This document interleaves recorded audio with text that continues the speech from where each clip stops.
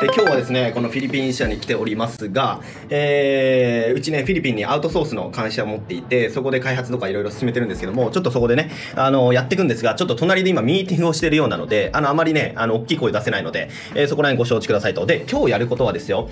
皆さんが何かまあ副業でも何でもいいですよ。何か始めるとしましょうと。ただ始めてその通りにビジネスが売ったら言ったらねこんなうまい話ないですよね。ビジネスっていうのはこういう考えです。必ずピポットをしながらうまくいくんです。ピポットってていうのは曲がりくねりながら、えー、うまくいくものなんですよ。で、えー、僕自身もねあの自分で24の時に副業として起業しました。実際にその副業でやったことっていうのはインフルエンサーマーケティングなんですよ。インフルエンサーマーケティングってご存知ですよね。なんかフォロワー数が多いインスタグラマーとか YouTuber とあとそのそれを使って PR したい企業のマッチングみたいな全くうまくいきませんでした。あの、もう結論から。全くうまくいかないんですよ。でじゃあどういうところに目を向けたかっていうとじゃあここがうまくいかないのであればじゃあここのうまくいかせるためにまずは回り道して、えー、まずそのインフルエンサーとかに需要があるようなシステム開発っていうのをしてそこを、えー、企業に、えー、売ったそれが月々、まあ、1万5000円ぐらいなんだけどもそうするとそこからちっちゃい契約から取るとインフルエンサーマッチングも取れてくるみたいなそういう風にいろんなピポットしながらね、やっていかないと絶対に、えビジネスっていうのはうまくいかないんですよ。で、このピポットをする。この曲がりくねる。この方法っていうのをお伝えします。で、言ってしまえば、ここが分かってないからこそ、やろうとしたことがいつまでもできないで終わってしまう。皆さんもそうじゃないですかね。そういう、えー、ビジネスマンって結構多いんですよ、実はね。なので、えー、今日はそこをやっていきますよということですね。で、えー、まずです。まずですね、えー、一番重要なことをお話ししていきますということです。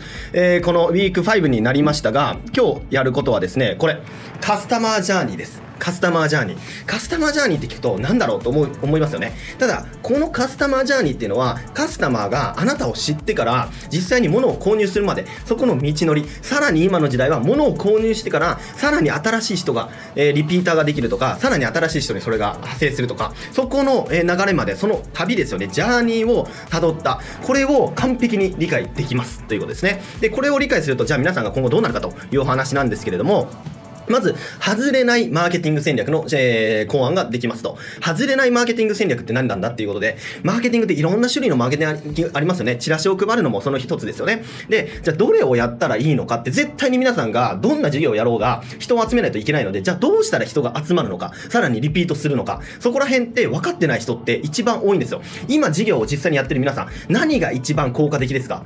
わからないですよね。答えられないですよね。それって選択肢がありすぎてわからなくなってるだけなんですよ。で、このカスタマージャーニーを理解すると、これにはこれだな、これにはこれだなっていうのが明確にわかります。で、それが今日、えー、この15分から30分でつきますよということですね。で、二つ目、無駄なコストと時間を圧倒的に節約できます。えー、先ほど言いましたね。消去法じゃないんですよ。これやってダメだった。じゃあこれやってみようっていう、無駄なコストと時間をかけないんですよ。これだっていうのが完璧にわかるので、めちゃめちゃ圧倒的に、えー、節約できますと。で、三つ目、だからこそ圧倒的な効果を得れる行動。だから圧倒的に集客力が上がる。えー、お店だろうが、サービスだろうが、圧倒的に集客効果が上がります。で、この動画をね、マジでね、無料で見れてるだけでも、これマジで、ここはね、神回です。これ、今回のショーは。神回ですよ。やっていきます。まあ、そのカスタマージャーニーなんですけども、えー、まずですよ、皆さん、えー、こんな経験はないですか？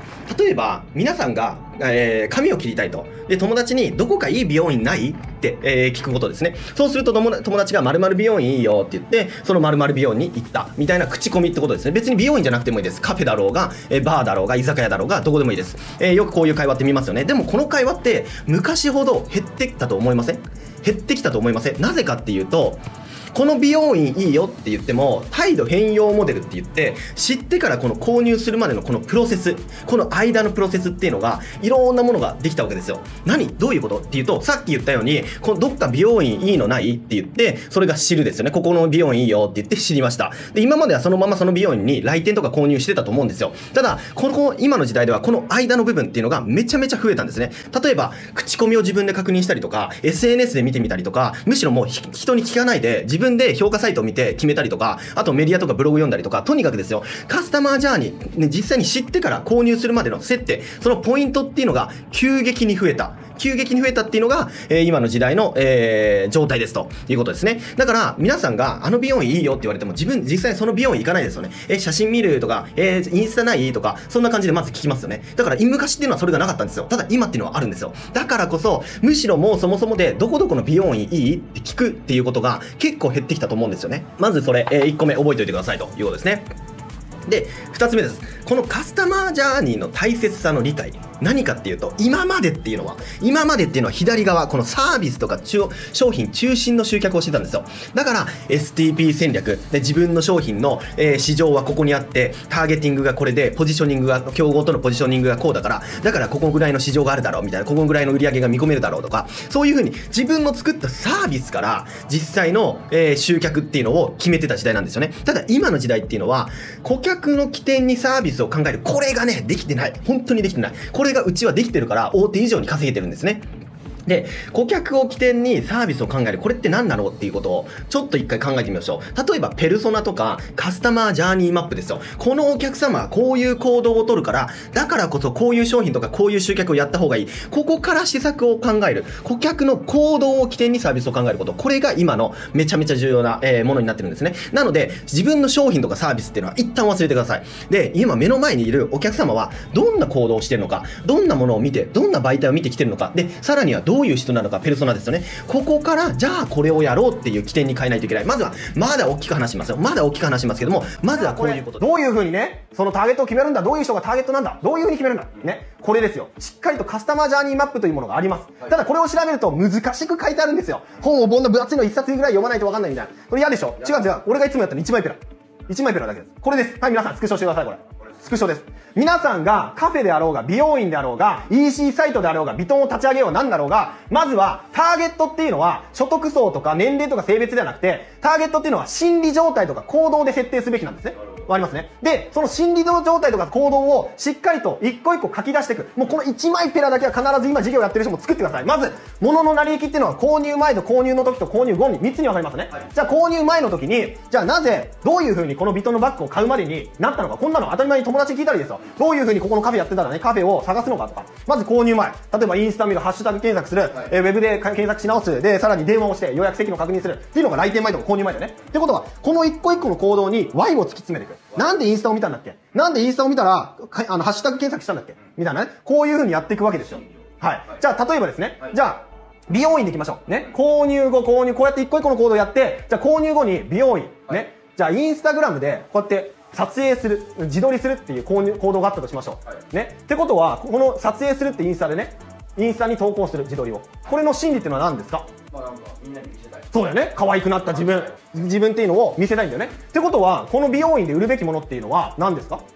撮影だ。撮影やんだって可愛くなった自分を見せたいんだよね。じゃあなんで美容室内に撮影しないの？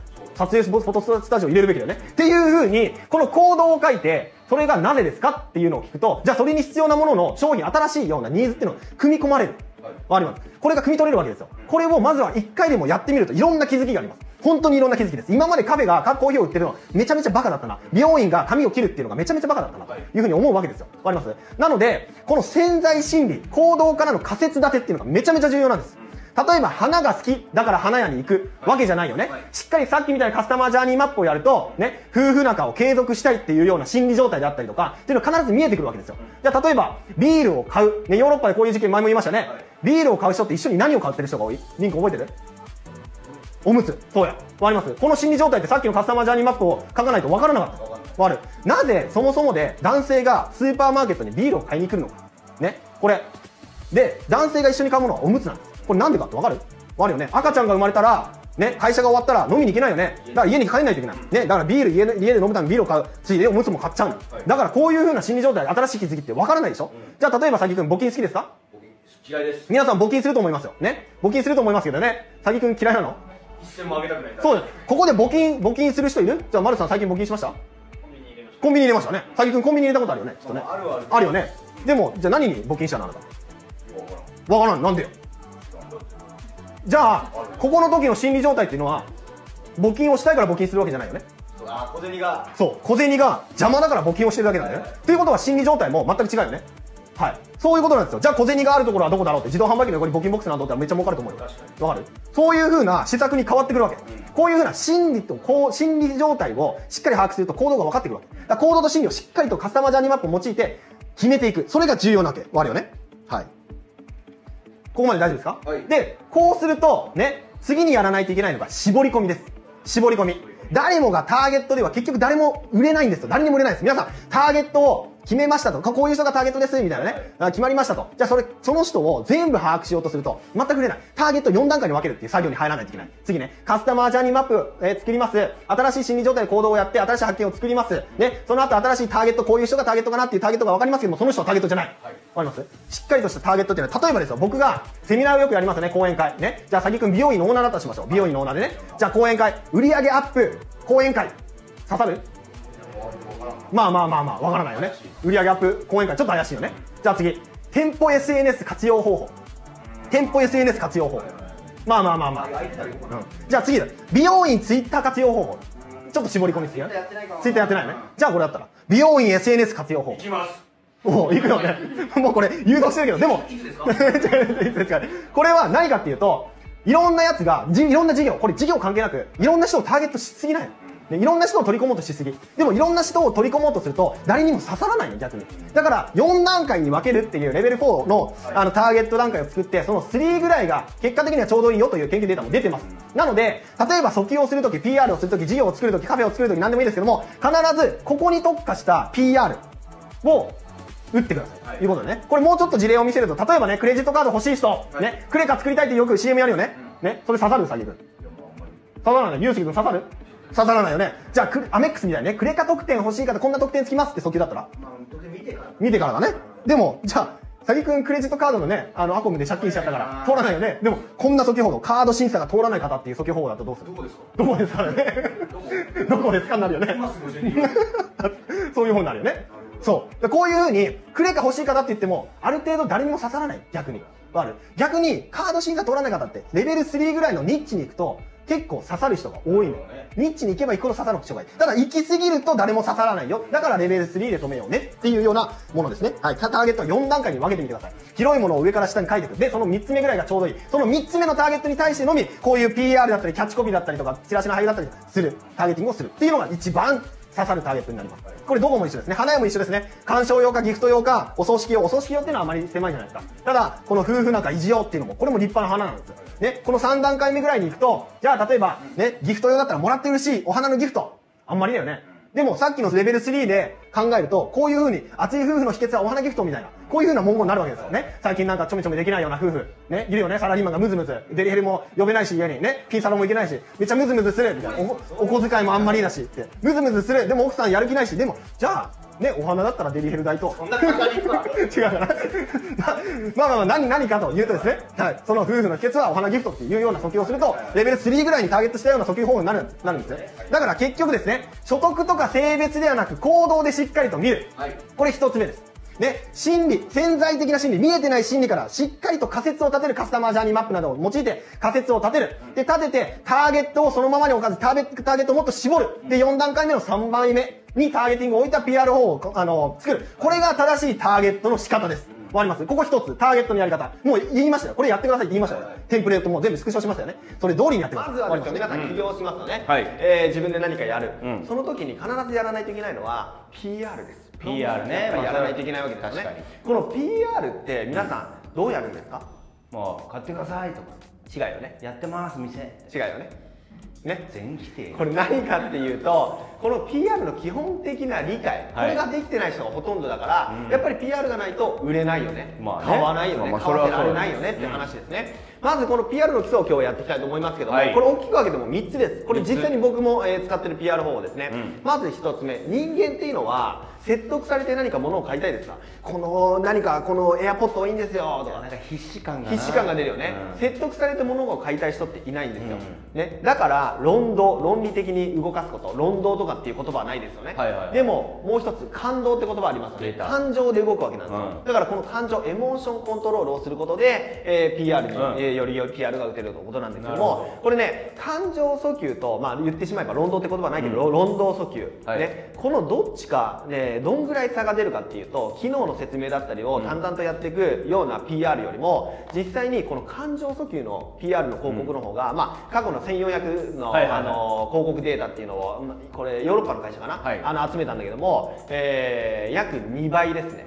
そんなに2倍違います効果が。だいぶ違うなので感情訴求をしっかりやっていかないといけない、例えばですよ、はい。ね、子供と切り絵をしてました。よく赤ちゃんのあのハサミとかあるじゃないですか、はいはいはい。ねあのじゃあ会社の社長だったとしてどういうふうにやるかこれは手をやっても切れないんですとか、そういうものではなくて、しっかり記憶に残るようにまずは、えー僕昔あの、今の、えー子供がちっちゃい時に切り絵をやってたんですね、子供と。その時に、えー手をハサミで切ってしまったんです、で血が止まらないぐらい、えー出て結局病院に行った。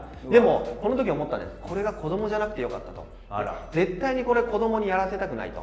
だからお父さんがその開発してこのえー商品を開発したんですこういうふうに素敵。そう素敵だよね、うん。感情をもうあの打ち出すこと。っていうのが一つ。これねやっぱアメリカの会社はうまいんですよ、うん。あの例えばめちゃめちゃうまい例で言うと、はい。アマゾンと楽天ってあるじゃないですか、うん。アマゾンの CM って機能を説明してないんですよね。キャンペーンとかも説明してないんですよね、特に。ね。何をやってるかって例えば、うん。えー子供がいてとかおばあちゃんがいてとか孫がね孫が、えーおばあちゃん家帰ってきてバイクでツーリングに行くとか、結構感情的なものが多いんだよね、これはいアメリカの多いです。でも日本のそういう EC サイトの広告を見てみなさい何々大キャンペーン実施中でーみたいな感じの話キャッシュバックキャンペーンそうそうそうそういうことばっかですよね。ね。これが全くもって人の、えー広告効果を上げるか下がるかっていうのは俺は結構ねここは日本の企業の弱いところだと思ってるっていうのは一つ目、まずは感情を動かすような PR をしましょうとうんいうことね、 tell or sell ではないんですよ。 tell or sell。あの皆さん PR を打つ時ってね、あまり売り込んじゃいけない sell をしちゃいけないと思って、じゃあただ伝えるだけって思ってますよね,、まあね。これだとできないんですよ、うん。ね。 tell or sell じゃなくて tell to sell 売るために伝える。これを一貫してやっていかないといけない、ちょっと難しいかもしれないんだけども、うん。もう言ってしまえばこれ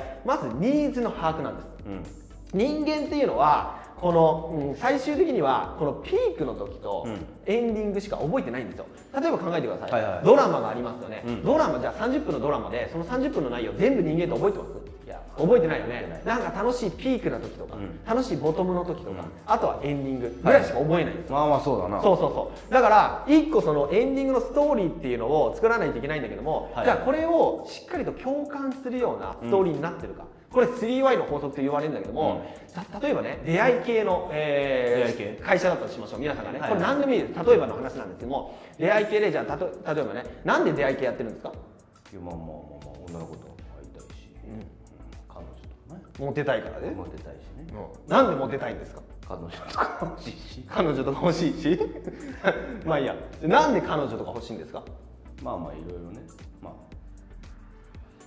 あんまりいいサンプルじゃないけども。いやいやまあ、まあ大体大体じゃあなんで結婚したいんですか？ってまあまあそうだね。1回目ぐらいは、ね、なんで出会い系やるんですか？うん。女性と会いたいとか、まあモテたいとか、まあ、そういう程度で、ね大体に似たり寄ったりの意見が出てくるわけですよ、うん。そんなの当たり前じゃないですか、はいはいはい。で2回目にじゃあなんでモテたいんですかっていうとまああのーなんなんていうの、まあ、将来的には結婚する相手が欲しいから、はい。ね、これ2つ目の Y ですよね、じゃあ3つ目にじゃあなんで結婚したいんですか？って聞くと、じゃあ例えば親を安心させたいからとか孫の子供子供が欲しいからとか、うん。あと家庭を持ちたいから。まあそうでもこの3つ目ぐらいにいろんな意見が分かれてくるわけです、うんわかります。だから出会い系でモテますよって PR だと全員に共通はしてるものの、うん。そこが目的じゃないんですよ、まあそうか。3回目の Y ぐらいに例えば親を安心させたいのであれば、その親を安心させるっていうところが現状アズイズと 2B のなりたい 2B ってなりたい姿に。ゴールね。そうゴールになるわけだね、だからエンディングのストーリーの最終部分はこれ親を安心させたいっていう風なストーリーにしていかないといけない、はいはい。だからそのためには3回 Y を聞いていく。でその Y のうちこのユーザー例えばこの出会い系のユーザーは親を安心させたいっていう人が多いんだなって言えばそれにとった PR をしていかない。と、うんで1回一回 Y を聞いただけでアンケートとかそうじゃないですか、ね。大体アンケート取るとなんで弊社で S に来たんですかとか言うんだけどもあのちょっと顔が気になるから、で1回しか聞かないよね、うん。でもなんで顔が気になるんですかっていうと恋人がいるからとかね、恋人がこうだとここで初めて違うようなニーズが出てくるわけじゃないですか、ここが本当の人の求めてる PR するべきところなんで、はいはいはいはい。だからほとんどの人は3回 Y を聞いてないから PR の方向性っていうのが浅すぎてあまり刺さってない、うん。しっかり心に刺さる PR っていうのをやってっていうところでしっかりと皆さんにここがまずないとまずビジネスの美の字も始まらないみたいなところなのでちょっとやってないと一緒だ。やってないと一緒。もう本当にもうやめた方がいいみたいな、はいはい。そう。なので、えー、佐木君に今からちょっと絵を見ていただきます。え？え？じゃあ絵の絵。絵の絵ね。絵の俺が悪かった。あ悪い悪い悪いないです。また打ち合わせしないとな。確かにな。はい絵を。見ていただきますよ。はい、どうぞ。うん。はい終わりです。はい。今、はい。この絵を見ましたよね。はい。見ました。見ましたけれども、その絵を見る時間が、絵の説明を読んだ時間どっちの方が長かったですか？えー、えー、説明かな？説明の方が長かったよね、うん多分今あのここでね後で画像で出しておいてほしいんだけど、あの出しておいてほしいんだけども多分視聴者の皆さんも、絵を見る時間よりも説明を読む時間の方が長かったと思うんですよ。ちょっとわけわかんなかったな。わけわかんないでしょ、そうそうそう。でこれなんですよ。ここでもう売りを見失っちゃってる。え？意味がわかる？あのね俺あの横浜で以前ねバンクシー店に行ったのよ、はいはいはいバンクシーってあの有名なね画家で、はいであのまあここら辺に後でその絵を見見せていただいてこれねこの絵で、うんはいこの絵をあの見てたんだよ、でこうやって風船がさそうやって飛んでく絵があるでしょ？ありますね。子供がねこうやって、でその、あの絵を見てた時にこうやって俺の子供を叩いてあの抱いて、うん。でみんな他の大人たちは、さっきみたいにずーっと説明を読んで、まあね。説明をこうやって見見る、でもねあの子供に「何これ何の絵だと思う?」って言ったら自分の子供そうそうそうパパに手紙を風船で送ってんだっていうふうに言ってる頭おかしいの？いやいや違う違う頭おかしいんじゃない。頭おかしいんじゃなくて 違うんですよ。何を言いたいかっていうとこの絵というところを絵で理解しようとしてるねここがね絵のねあなたあなた美術館行くでしょ、ん。美術館行って絵をただ見るだけなのかその絵の続きを頭に想像できてます。これがね結構ね経営者と経営者は結構いるんだよ。だからこの絵で勝手に自分でいろんな何千通りのストーリーがある、過去もあの絵から見る過去もイメージだし、んその未来もイメージなんなですよ。るほど想像して。そう。だから目の前のものからこれビジネスで例えると見えてるものから何がこうなるだろうなとかこういうこうこうだったからこうなったんだろうなって見えてない部分。なるほど。ここを想像していくっていうのがこれから一番重要な経営のスキルなんですよ。向いてんじゃない？子供え？子供向いてだからじゃあ子供は全員向いてんみんなそう。そういう子供の頃本当俺らはそうなんですよ、うん。俺らは子供の頃なんか飛行機の雲がねあの空にある雲があってあの雲はねあのドラゴンの形をしてとかあそこのなんか何あの東東の方から来てとかね。自分でストーリーを立てる、そういうねあのあとはベッドで夜寝てる時ベッドの上にねあのなんか点々点って光ってるものがあったらそれをなんか想像でうん。なんかそうくっつけてとかこういう星でみたいなねことを子供は想像できるでも大人になると現実を受け入れすぎちゃってる。目に見えてるものが全てだと思ってる。この仮説を立てるスキル。これが全くないんですよ、はい。でこれあのビジネス用語で例えるとハード視点とソフト視点っていうの。ハードしてハード視点っていうのは見えるものだよね。見えるもの、はい。でもソフトっていうのは見えないもの。うんでも、ね。ほとんどの企業の人、ほとんどの経営者っていうのはハード視点の人が多いからだからこそ全くもってビジネスの理論人を知らねえんだよって話、ね。そういうことで。なな例えばですよ、はい。なね。はい皆さん。あの考えてください、ラムネがありますよね。ラムネ、ラムネ。はいはい。あのラムネっていうと皆さんが思い浮かぶのは同じ認識かなまあ瓶のね瓶のねビー玉をパーンってやるねねいいよね、ででも最近だとさ、ね、スプライトが出てきたりとか、セブンナップが出てきたりとかね、はいはい他の炭酸水が出てきて、はいおしゃれなね。どんどんどんどん市場が潰されちゃってるよね、はいはいはい。清涼飲料のね、ん。っていう時にじゃあラムネの会社考えたね。なんでこれからどうやって生き残っていこうかな。はいはいはい。皆さんだったらどうやる？ねラムネ。あの瓶だとさあれねちょっと難しいよね,、まあね。めめんどくさいよね。飲みづらいしね。飲みづらい。しね。あのビーダーはねポロポロここんこんなんやってね。飲みづらい。だから大人たちはそのラムネの会社のサラリーマンたちは、ペットボトルにしちゃった。ラムネのあの瓶を。あもうそのまま。そう。でパッケージもあのーまあ今時のねちょっとガヤガヤしたようなパッケージにしたいでも俺らってもう一回言いますけども買ってるものってラムネを買う時に買ってるものって何なんだっけ？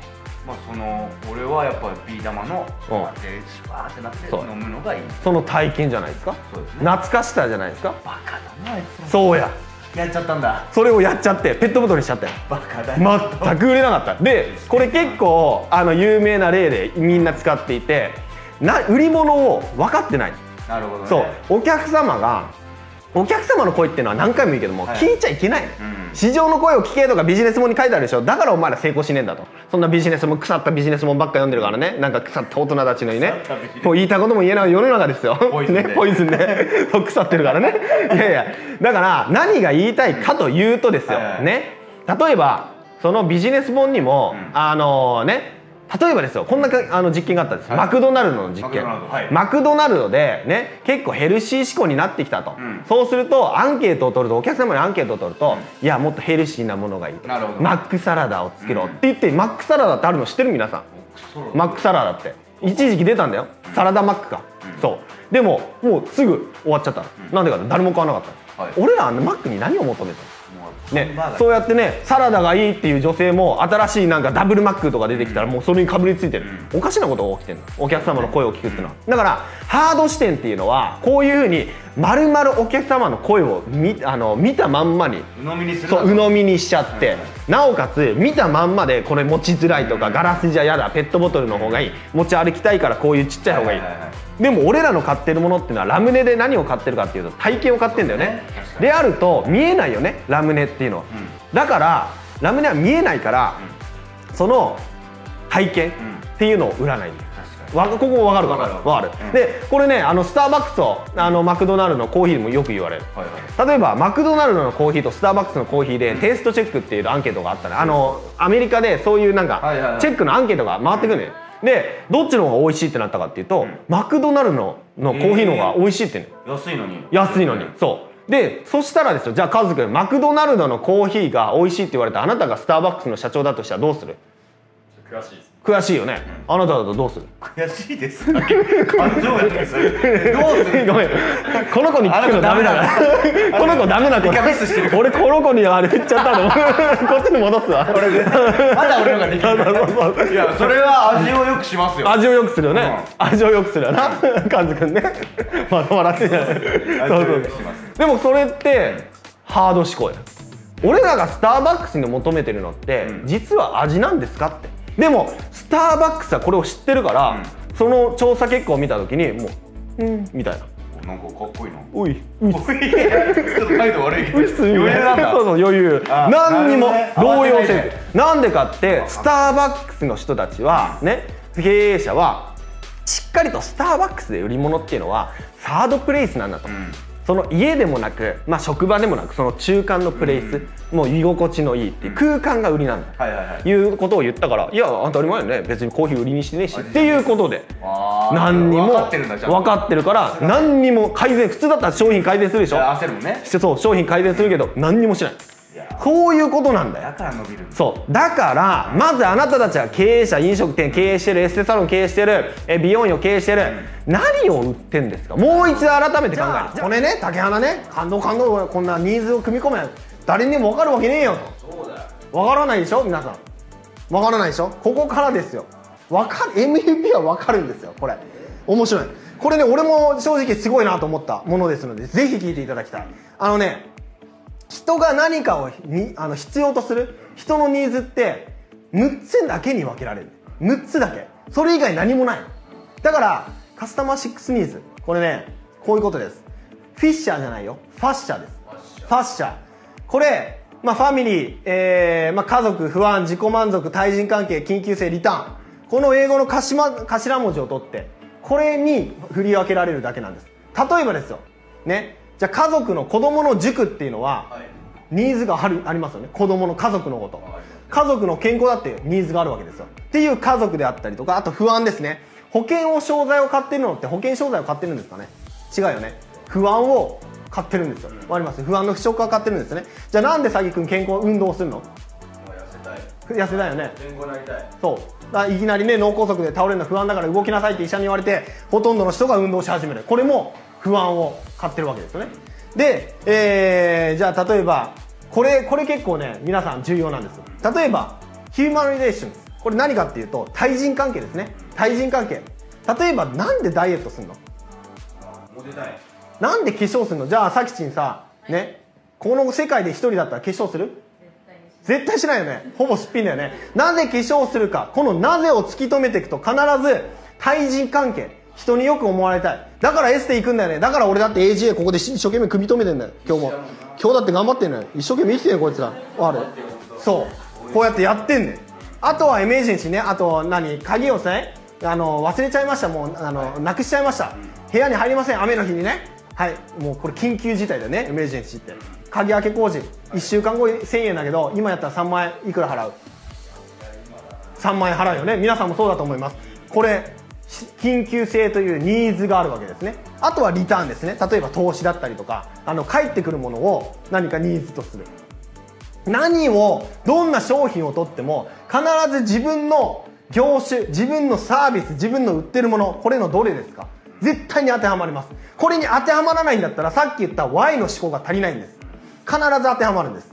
これまずですねあの一旦区切りますけどもまず潜在的ニーズを把握して感情を動かす。これ一つ目だよね、でじゃあそれをどうやんのっていう時にフィッシャー法というのを使ってカスタマーニーズをどこにあるのかってまずは確認する。ここに入れるまで Y を突き止めていく。だ例えば美容院だったらなんで美容院行くの？さっきみたいに。一人だったら行かないよね。対人関係でね。必ず対人関係に入るわけですよ、はい。そういうのをちょっと今からやっていきますよ。みんなあのできるようにやって Do you find it hard to keep learning? What about if it was as easy as watching Netflix? URU is the best online business school in Japan.